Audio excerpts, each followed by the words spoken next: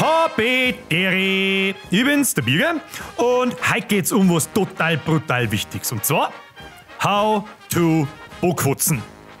Wir müssen ja schließlich einen allgemeinen Standard erhalten, wenn es zu Komplikationen mit dem Paragraph 1 bis x im ungeschriebenen bayerischen Verhaltenskodex kommt. Phase 1. Die Verwandtschaft von der Bockfutzen. Da hätten wir als erstes die handelsübliche Watschen. Die Watschen ist statistisch die am meisten austeilte. Und an und für sich ist die ja gar nicht tragisch und trifft die meistens von links oder rechts am Oberschel. Twatschen wird außerdem oft mit dem Begriff Knack kombiniert und der einzige Unterschied liegt quasi schon in der Namensgebung, ab dann trifft sie halt von hinten im Knack. Und direkt hinten hätten wir Chain. Die Ausführung ist im Grunde genau dieselbe, bloß dass du es nicht kriegst, sondern fangst. Sie trifft die allerdings meistens unerwartet, was das Gemeine dran ist, und manchmal wird es gerne mit Drum kombiniert und dann wird daraus A Drum Chain. So, und Moment kommen wir zum eigentlichen Thema, zu der Futzen.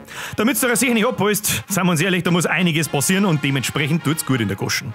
Parallel zum ansteigenden Schmerzpegel ist aber ein bisschen Sinnlosigkeit in der Futzen, dass die gepeinigte Person zeitweise das Gedächtnis vor lauteres im Oberschel verlieren kann und daher ist Futzen eher als Befriedigung für einen Austeiler zum Singen als eine Strafe für den vermeintlich Schuldigen.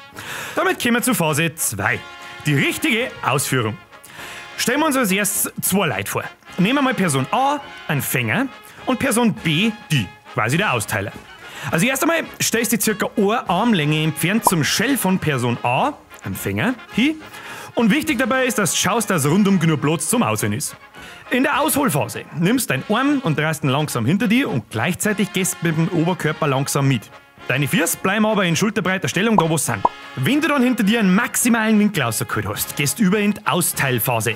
Streckst deinen Arm weiterhin aus, spreizt deine Finger und drehst dich so schnell wie du kannst und mit aller Kraft in Richtung Shell von Person A. Kurz drauf darf sich dann ganz von selber direkt in der Aufprallphase befinden und folgender Ton ist zum Hören. Person B liegt im besten Fall da, weiß nicht, was geschlagen hat, Zahnrot zum Wasser und dein Befriedigungspegel steigt. Und schon sind wir in Phase 3. Wann wird der Bockfutzen austeilt? Folgende Situation. Es ist Freitag, eins in der Früh, hast einen sauberen Sure in der Futzen, weißt, 4 Uhr Nachmittag weg bis zu dazu gespielt haben, einglittert hast, ist jetzt morgen nichts mehr geben.